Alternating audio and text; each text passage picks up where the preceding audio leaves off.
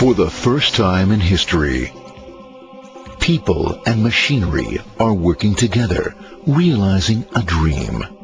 A uniting force that knows no geographical boundaries without regard to race, creed, or color. A new era where communication truly brings people together. This is the dawn of the net. Want to know how it works? Click here to begin your journey into the net. Now exactly what happened when you clicked on that link? You started a flow of information.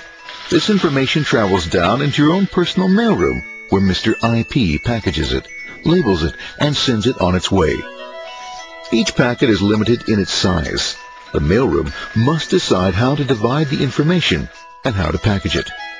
Now the package needs a label containing important information such as sender's address, receiver's address, and the type of packet it is.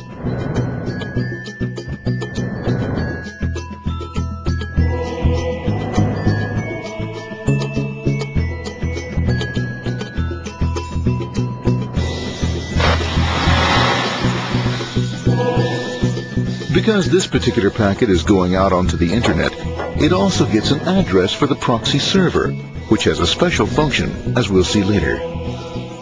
The packet is now launched onto your local area network, or LAN. This network is used to connect all the local computers, routers, printers, etc. for information exchange within the physical walls of the building. The LAN is a pretty uncontrolled place and, unfortunately, accidents can happen.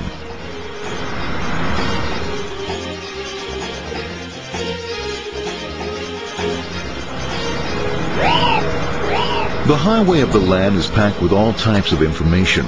These are IP packets, Novell packets, Apple Talk packets. They're going against traffic, as usual. The local router reads the address and, if necessary, lifts the packet onto another network. Ah, the router.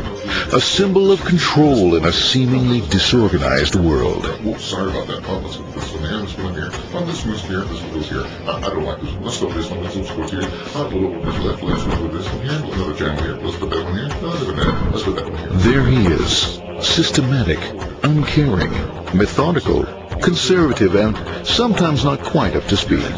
Sorry. But at least he is exact. For the most part.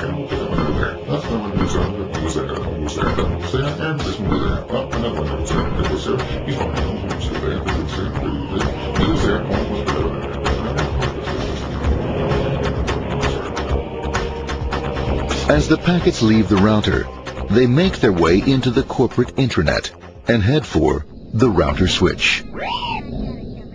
A bit more efficient than the router, the router switch plays fast and loose with IP packets, deftly routing them along their way.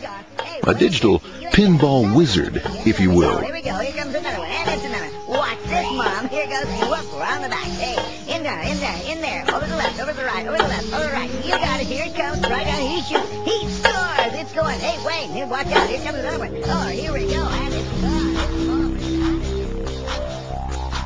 gone. As packets arrive at their destination, they're picked up by the network interface, ready to be sent to the next level. In this case, the proxy. The proxy is used by many companies as sort of a middleman in order to lessen the load on their internet connection, and for security reasons as well. As you can see, the packets are all of various sizes, depending upon their content.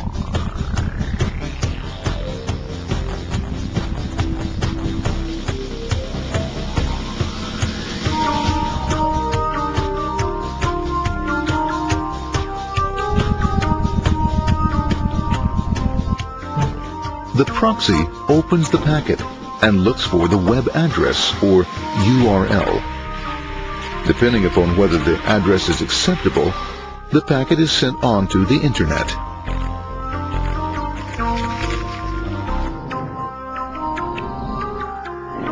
There are, however, some addresses which do not meet with the approval of the proxy, that is to say corporate or management guidelines. These are summarily dealt with. We'll have none of that. For those who make it, it's on the road again.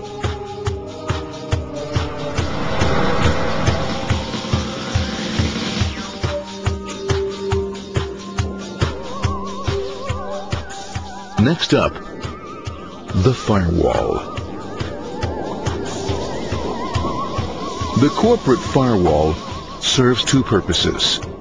It prevents some rather nasty things from the internet from coming into the intranet. And it can also prevent sensitive corporate information from being sent out onto the internet.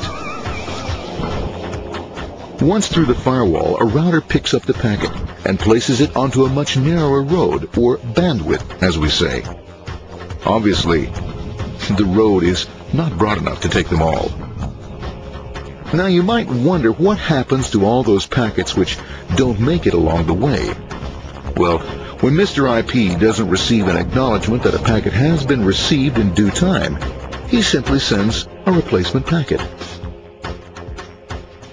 We are now ready to enter the world of the Internet. A spider web of interconnected networks which span our entire globe.